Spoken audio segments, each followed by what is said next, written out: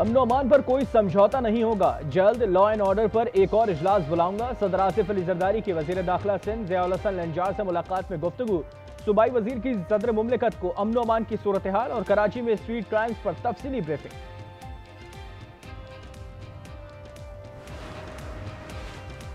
नए कर्ज प्रोग्राम के लिए बिजली मजीद महँगी करने का प्लान। बुनियादी टैरिफ में पाँच रुपए से जायद इजाफे की वर्किंग मुकम्मल। जल्द निफाज होगा। पाकिस्तान ने आई एम एफ़ को तमाम पेशगी शराय पर अमल दरामद से मुतालिक आगाह कर दिया। आलमी इदारे का पाकिस्तानी इकदाम पर इजहार इतमान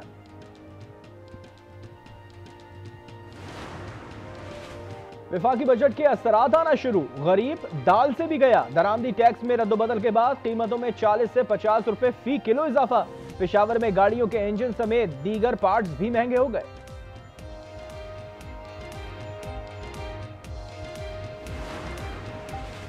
कराची के इलाके एफबी एरिया में फायरिंग, तीस साल नौजवान जाबाग शनाख्त न हो सकी।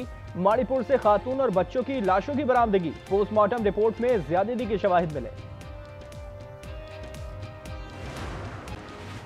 वज़ीर अजम शहबाज शरीफ की दुशंबे में ताजिक हम मनसाब। काहिर रसूलजादा से मुलाकात। बरदराना ताल्लुक को मजीद मज़बूत बनाने की ख्वाहिश का यादा वज़ीर अजम की कराची बंदरगाह तजारत के लिए इस्तेमाल करने की पेशकश।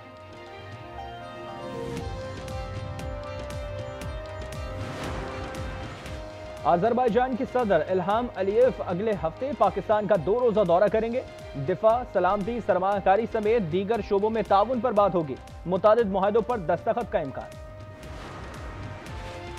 अदालती रिपोर्टिंग पर पाबंदी के खिलाफ दरख्वास्तों पर फैसला महफूज। इस्लामाबाद हाई कोर्ट के चीफ जस्टिस आमिर फारूक ने कहा, आइंदा हफ़्ते फैसला सुनाया जाएगा।